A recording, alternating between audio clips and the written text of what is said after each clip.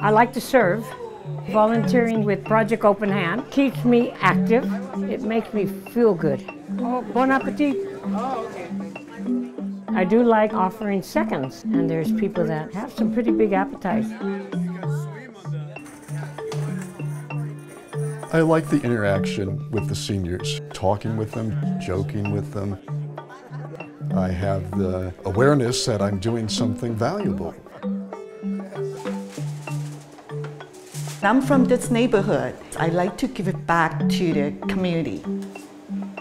The seniors are great. You learn so much from them. I'm Joan. My name is Priscilla Roberson. My name is Dwayne Tully, and I nourish my community.